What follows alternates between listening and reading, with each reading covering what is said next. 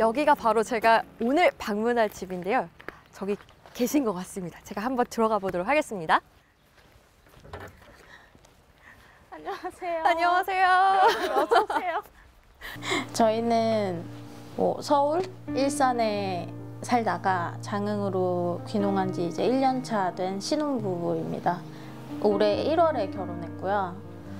전입은 뭐 작년 전 여름 겨울에 이제 장흥에 내려왔어요. 네.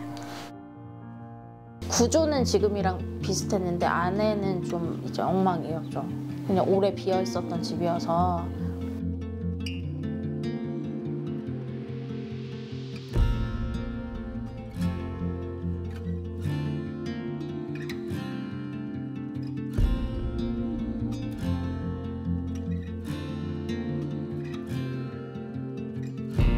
어, 근데 안에 너무 예쁜데요? 헉, 진짜 예쁘다. 와, 집 너무 예쁘고요. 일단은 네네. 저 아직 뭐 보질 않았잖아요. 네. 근데 오래됐다고 했는데 여기가 좀 살, 살리신 거죠, 이건? 네 이거는? 원래 있었던 대로예요. 이게. 네. 아니 뭔가 딱 오자마자 문은 엄청 모던한 느낌인데 아, 네. 또이 느낌은 네. 또 오래된 느낌도 있고 아, 네. 저는 여기 귀여운 게 이거 이렇게 해놓은 것도 너무 귀여워요. 네, 최대한 이런 네. 느낌. 옛날스러움에다가 현대 네. 요즘 그러니까 또 조명은 또 약간 현대 네. 느낌으로. 남편 취향이에요. 아 근데 이거 보리밭이 다 보이네요. 네, 보리밭도 보고 여기를 보고 있으면 뭔가 되게 평온해지는 느낌 때문에 네. 그러니까 지금 제 시선에는 딱 보리밭이 살랑살랑 하고 있고 도로 보이고 나무 딱 보이거든요. 그러니까 뭔가 자연이 네. 만든 액자 같은 느낌처럼 오, 그림 네, 같아요. 그리고 네. 더 좋은 건 이제 사계절 변화되는 모습이 다 다르니까 아. 색깔도 다르고 어. 겨울엔 어때요? 겨울에는 이제 황량한데 황량하죠.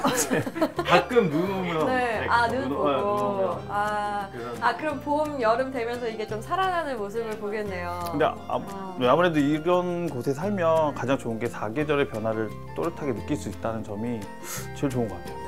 장흥으로 왔는데 서울에서 예, 예. 어떠신가 해서요 보니까. 젊은 사람들이 없어요. 음, 그러니까 이제 우리가 마을 같은 경우는 좋은 일이죠. 음, 마을에 좀 활기가 좀 있다고 봐야죠. 음, 네.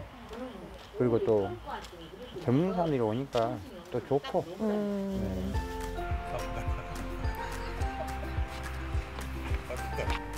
요 하수기 요 사람이 없니?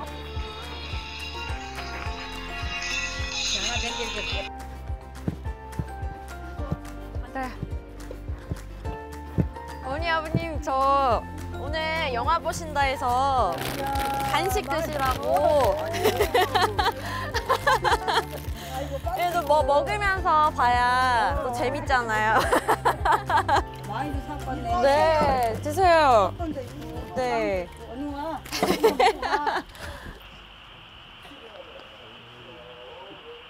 네. 또 이렇게 어, 저녁 드시고 쉬실 시간에 이렇게 모여주셔서 감사하고요.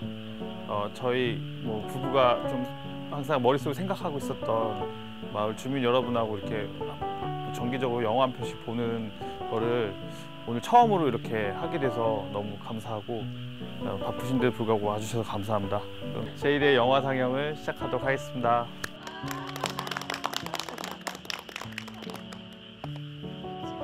이게 사실 마을 분들이랑 막 다 같이 모일 일은 크게 많이 없더라고요.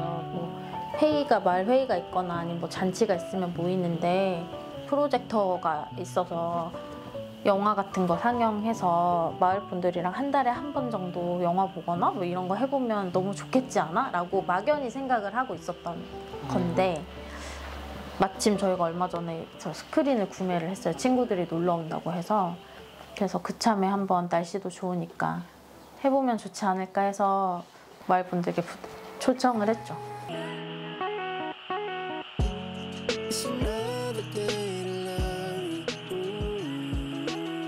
하나 둘 셋 하면 대답할까요? 영어예요? 아니면 한, 한국말로 한, 한 글자? 하나 둘 셋 네. 네. 살고 있습니다. 네.